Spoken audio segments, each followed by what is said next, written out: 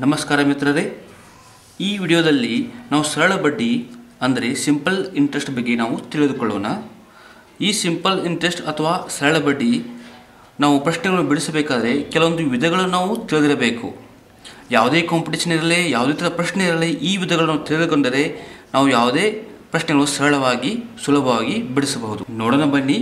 ಇಲ್ಲಿ ಮೊದಲನೇ ವಿಧದಲ್ಲಿ, ವಿಧ ಒಂದು ಸರಳ ಬಡ್ಡಿಗೆ ನಾವು ಎಸ್ ಐ ಅಂತ ಕರಿತೇವೆ ಸಿಂಪಲ್ ಇಂಟ್ರೆಸ್ಟ್ ಕಂಡುಹಿಡಿಯುವ ಸೂತ್ರ. ಇದು S I is equal to P T R ಬಾಗಲೇ divide by hundred ಆಗುತ್ತೆ. ಅಂದರೆ, ಇಲ್ಲಿ ಸರಳ ಬಡ್ಡಿ S I equal to P ಅಂದರೆ ಅಸಲು ಟಿ ಅಂದರೆ ಅವಧಿ ಟೈಮ್ ಆರ್ ಅಂದರೆ ದರ ಡಿವೈಡ್ ಬೈ ಹಂಡ್ರೆಡ್ ಇಲ್ಲಿ ಕೊಡಲಾಗಿದೆ ಪಿ ಅಂದರೆ ಸೂಚಿಸುತ್ತದೆ ಅಸಲು ಅಂತ ಟಿ ಅಂದರೆ ಟೈಮ್ ಅಥವಾ ಅವಧಿಯನ್ನು ಸೂಚಿಸುತ್ತದೆ ಆರ್ ಅಂದರೆ ಬಡ್ಡಿಯ ದರ ಇಂಟ್ರೆಸ್ಟ್ ಅದನ್ನು ಸೂಚಿಸುತ್ತದೆ. ಓಕೆ ನಾವು ಅಸಲು ಕಂಡು ಹಿಡಿಯಬೇಕಾದರೆ, ಅಂದರೆ ಪಿ ಕಂಡು ಹಿಡಿಯಬೇಕಾದರೆ, ಇದೇ ಸೂತ್ರವನ್ನು ನಾವು ಪಿ ಇಸ್ ಇಕ್ವಲ್ ಎಂದು ತೆಗೆದುಕೊಳ್ಳೋಣ. P is equal to S I into hundred divide by T into R ಆಗುತ್ತದೆ. ಅಥವಾ ನಾವು ಬಡ್ಡಿಯ ದರ ಕಂಡು ಹಿಡಿಯಬೇಕಾದರೆ, ಇದೇ ಸಿ ಸೂತ್ರವನ್ನು ತೆಗೆದುಕೊಳ್ಳೋಣ. ನಾವು ಆರ್ ಇಸ್ ಇಕ್ವಲ್ ಟು ಕಂಡು ಹಿಡಿಯಬೇಕಾದರೆ, ಇಲ್ಲಿ ನೋಡಿ, R is equal to S I into hundred ಆಗುತ್ತೆ divide by P into T ಆಗುತ್ತೆ. ಅಥವಾ ನಾವು ಅವಧಿ ಅಥವಾ ಸಮಯವನ್ನು ಕಂಡುಹಿಡಬೇಕಾದ್ರೆ ಟೈಮ್ ವರ್ಷಗಳ ಕಂಡುಹಿಡಬೇಕಾದರೆ ಇದೇ ಸೂತ್ರವನ್ನು ತೆಗೆದುಕೊಂಡು ನಾವು ಟಿ ಇಸ್ ಇಕ್ವಲ್ ಟು ಮಾಡಿಕೊಳ್ಳೋಣ. T is equal to S I into hundred divide by P into R ಆಗುತ್ತದೆ. ಇದು ಮೊದಲನೇ ವಿಧ ಬರುತ್ತದೆ. ಇನ್ನು ನಾವು ಎರಡನೇ ವಿಧಿಯನ್ನು ನೋಡೋಣ ಬನ್ನಿ. ವಿಧ ಎರಡು. ಅವಧಿ ಅಥವಾ ಟೈಮ್ ಟಿಯನ್ನು ಸೂಚಿಸುತ್ತವೆ. ಟಿ ಒನ್ನಿಂದ ಟಿ ಟೂಗೆ ಬದಲಾದಾಗ ಅಂದರೆ ಈ ರೀತಿ ಸೂತ್ರ ಬರುತ್ತದೆ. ಅಂದರೆ ಸಿಂಪಲ್ ಇಂಟ್ರೆಸ್ಟ್ ಆಗುತ್ತದೆ, ಸರಳ ಬಡ್ಡಿ. S I one minus S I two is equal to P into R into T one minus T two divide by hundred ಆಗುತ್ತದೆ. ಈ ಸೂತ್ರವನ್ನು ನಾವು ನೆನಪಿ ನೆನಪಿನಲ್ಲಿಟ್ಟುಕೊಳ್ಳಬೇಕು ಮುಂದೆ ನಾವು ಮೂರನೇ ವಿಧಕ್ಕೆ ಹೋದರೆ, ವಿಧ ಮೂರು, ಒಬ್ಬ ವ್ಯಕ್ತಿಯು, ವ್ಯಕ್ತಿ ರು ಎಕ್ಸ್ ಒನ್ ಅನ್ನು ಒಂದು ಬ್ಯಾಂಕಿನಲ್ಲಿ ಠೇವಣಿಯನ್ನು ಆರ್ ಒನ್ ಪ್ರಸ ಪ್ರತಿಶತನಲ್ಲಿ ಇಟ್ಟಿದ್ದಾನೆ ಮತ್ತು ರು ಎಕ್ಸ್ ಟೂಯನ್ನು ಮತ್ತೊಂದು ಬ್ಯಾಂಕಿನಲ್ಲಿ ಸಾಲಿಯನ ಶೇಕಡ ಆರ್ ಟು ಪ್ರತಿಶತನಂತೆ ಠೇವಣಿ ಇಟ್ಟಾಗ ಬಡ್ಡಿ ದರ ಪೂರ್ಣ ಹಣದ ಮೇಲೆ ಈ ರೀತಿಯಾಗಿ ನಾವು ಸೂತ್ರವನ್ನು ಉಪಯೋಗಿಸಬೇಕು. R is equal to X one R one plus X two R two divide by X one plus S two ಇದು ಪ್ರತಿಶತ ಆಗುತ್ತದೆ. ಮುಂದೆ ವಿಧ ನೋಡೋಣ ಬನ್ನಿ. ನಾಲ್ಕನೆಯ ವಿಧ ಒಂದು ಮೊತ್ತದ ಮೇಲಿನ ಸರಳ ಬಡ್ಡಿಯು ಅಸ ಒಂದು ಬಾಗಲೆ ಎನ್ ಆದರೆ ಮತ್ತು ವರ್ಷಗಳು ಸಾಲಿಯಾನ್ ಶೇಕಡ ಬಡ್ಡಿ ದರಕ್ಕೆ ಸಮನಾಗಿದ್ದಾಗ ಈ ಸೂತ್ರವನ್ನು ನಾವು ಉಪಯೋಗಿಸಬೇಕು. ಬಡ್ಡಿಯ ದರ is to R is R is equal to ವರ್ಗಮೂಲ ನೂರು ಗುಂಡ್ಲೆ ಒಂದು ಬಾಗ್ಲೆ ಎನ್ ಪ್ರತಿಶತ ಆಗುತ್ತದೆ. ಅಥವಾ ನಾವು ಸಮಯವನ್ನು ಕಂಡುಹಿಡಿಯಬೇಕಾದರೆ, ಅವಧಿಯಲ್ಲಿ ಕಂಡುಹಿಡಿಯಬೇಕಾದರೆ, ಟಿ ಈಸ್ ಟು ವರ್ಗಮೂಲ ನೂರು ಗುಂಡ್ಲೆ ಒಂದು ಬಾಗಿಲು ಎನ್ ವರ್ಷಗಳಲ್ಲಿ ಆಗುತ್ತದೆ. ಅಂದರೆ ಟಿ, ಅವಧಿ. ಇನ್ನು ನಾವು ಐದನೇ ವಿಧಕ್ಕೆ ಹೋಗೋಣ ಬನ್ನಿ. ಮೊದಲ ಎರಡು ವರ್ಷಕ್ಕೆ, ಒಂದು ಎಕ್ಸಾಂಪಲ್ ಕೊಡಲಾಗಿದೆ.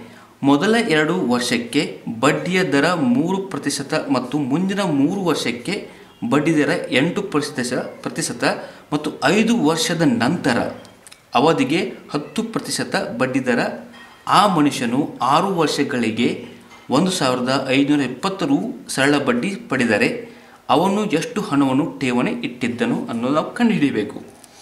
ಇಲ್ಲಿ ಸೂತ್ರವಿದೆ, ಅಸಲು ಇಜಿಕೊಟ್ಟು ಬಡ್ಡಿ ಇಂಟು ನೂರು divided by T one R one plus T two R two plus T three R three plus so on ಅಂದರೆ ಹಾಗೆ ಮುಂದುವರಿತೀವಿ ಎಷ್ಟು ನಾವು ವರ್ಷಗಳು ಬಡ್ಡಿ ದರ ಕ್ಯಾಲ್ಕುಲೇಷನ್ ಮಾಡಬೇಕು, ಆ ರೀತಿ ಮುಂದುವರಿತಾ ಹೋಗುತ್ತದೆ.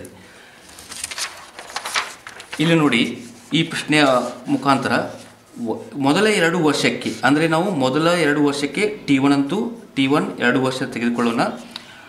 ಬಡ್ಡಿಯ ದರ ಮೂರು ಪ್ರತಿಶತ ಇದೆ, ಅಂದರೆ ಆರ್ ಒನ್ ಇಜ್ಕೊಂಡು ಮೂರು ಪ್ರತಿಶತ. ಮತ್ತು ಮುಂದಿನ ಮೂರು ವರ್ಷಕ್ಕೆ, ಅಂದರೆ ಟಿ ಟು ಮೂರು ವರ್ಷ ಆಗುತ್ತದೆ. ಬಡ್ಡಿ ದರ ಎಂಟು ಪ್ರತಿಶತ, ಇಲ್ಲಿ ಆರ್ ಟು ಇಜ್ಕೊಂಡು ಎಂಟು ಪ್ರತಿಶತ.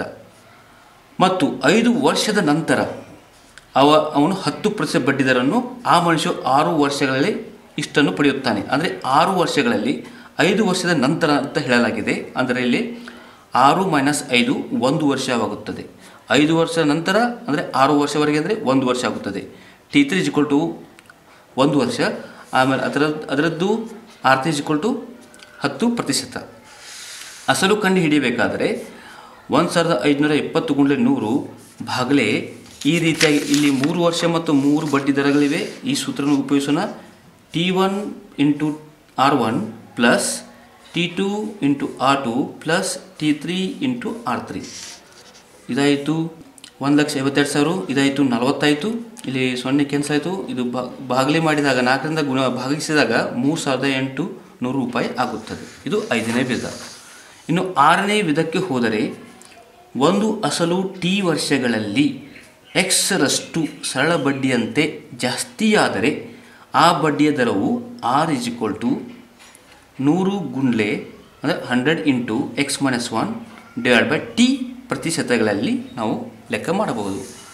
ಇನ್ನು ಏಳನೇ ವಿಧಕ್ಕೆ ಹೋದರೆ, ರು ಪಿ ಒನ್ ಅಸಲಿನ ಸರಳ ಬಡ್ಡಿಯು ಪಿ ಟು ರು ಅಸಲಿನ ಸರಳ ಬಡ್ಡಿಗಿಂತ ಆರು ಪ್ರತಿಶತ ಬಡ್ಡಿ ದರದಂತೆ ರೂಗಳಲ್ಲಿ ನಾವು ಕಂಡುಹಿಡಿಯಬೇಕಾದರೆ ಏನಷ್ಟು ಕಡಿಮೆ ಇದ್ದರೆ ಸಮಯ ಅಥವಾ ಅವಧಿ. ಅದ್ರ is equal equal A into hundred divide by R into P two minus P one ಇಲ್ಲಿ ವರ್ಷ ಅಂತ ನಾವು ಬರೆಯಬಹುದು ಹೀಗೆ ಮುಂದಿನ ವಿಧ ಹೋಗೋಣ ಎಂಟನೇ ವಿಧ. ಒಂದು ಮೊತ್ತವು ಟಿ ವರ್ಷಗಳಲ್ಲಿ ಸರಳ ಬಡ್ಡಿಯಂತೆ ಎನ್ ರಷ್ಟಾದರೆ ಅದೇ ಮೊತ್ತವು ಎಂರಷ್ಟು ಆಗಲು ಬೇಕಾಗುವ ಸಮಯ. ಇಲ್ಲಿ ಕೊಡಲಾಗಿದೆ M minus one divide by N minus one T ವರ್ಷಗಳು. ಓಕೆ ಮುಂದಿನ ವಿಧ, ಒಂಬತ್ತನೇ ವಿಧ. ಒಬ್ಬ ಸಾಲಗಾರನು ಆರು ಪ್ರತಿಶತ ಸರಳ ಬಡ್ಡಿಯಂತೆ ಟಿ ವರ್ಷಗಳಿಗೆ ಕೊಡಬೇಕಾದ ಆ ಅಂದರೆ ಸರಳ ಬಡ್ಡಿ ಮತ್ತು ಒಟ್ಟು ಮೊತ್ತ ಎ ಅಂತ ಕೊಡಲಾಗಿದೆ. ಅದರ ಸೂತ್ರ ಆ into one plus hundred divide by R T ಆಗುತ್ತೆ. ಈ ಕೊನೆಯ ವಿಧ ವಿಧ, ಹತ್ತನೇ ವಿಧ, ಒಂದು ಮೊತ್ತವು ರು ಎ ಒನ್ ಟಿ ಒನ್, ಒಂದು ಮೊತ್ತವು ರು ಎ ಒನ್ ಟಿ ಒನ್ ವರ್ಷಗಳಿಗೆ ಮತ್ತು ರು ಎ ಟು ಟಿ ಟು ವರ್ಷಗಳಿಗೆ ಸರಳ ಬಡ್ಡಿ ದರದಂತೆ ಆದರೆ ಸಾಲಿಯಾನ ಶೇಕಡ ಬಡ್ಡಿಯ ದರ ಇದೆ. ನೂರು into A two minus A one divide by A one into T two minus A two into T one. ನನ್ನ ಚಾನಲ್ ಸಬ್ಸ್ಕ್ರೈಬ್ ಮಾಡಿ, ಲೈಕ್ ಮಾಡಿ, ಕಮೆಂಟ್ಸ್ ಕೂಡ ಹಾಕಿ. ಸಬ್ಸ್ಕ್ರೈಬ್ ಮಾಡೋದ್ರಿಂದ ಮುಂದೆ ಬರುತ್ತಾ ವಿಡಿಯೋ ನೋಟಿಫಿಕೇಶನ್ ನಿಮಗೆ ಸಿಗುತ್ತದೆ. Thank you.